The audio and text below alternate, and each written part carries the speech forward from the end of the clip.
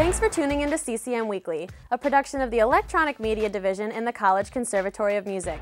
I'm Alex Doyle. Seven voice students were named winners of the 2009 Opera Scholarship Competition last Saturday.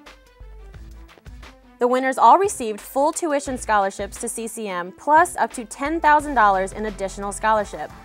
Two of the awards even guarantee stage auditions with the New York City Opera. Opera industry professionals judged the competition. Both current and incoming students were invited to compete.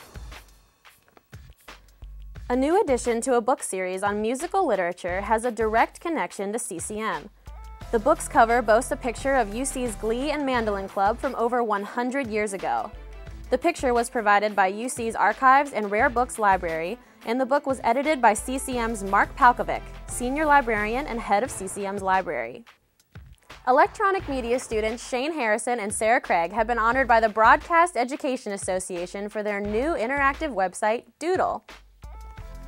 The website's user-friendly interface is set up like a student's desk, and each object serves as a link. The iPod houses their videos, while their contact information and resumes are found by clicking on the phone icon. Shane and Sarah's website will be shown in Las Vegas during the BEA's annual convention April 22nd through the 25th. They will be competing for the title Best in Show. Check out their website at doodle.com. Don't forget to come out this Tuesday, April 14th for the CCM Blood Drive. Students can donate from 10 a.m. to 4 p.m. in the Cohen Family Studio Theater.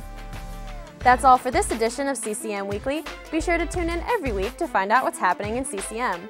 This has been a production of UCAST Channel 51. I'm Alex Doyle, and thanks for watching.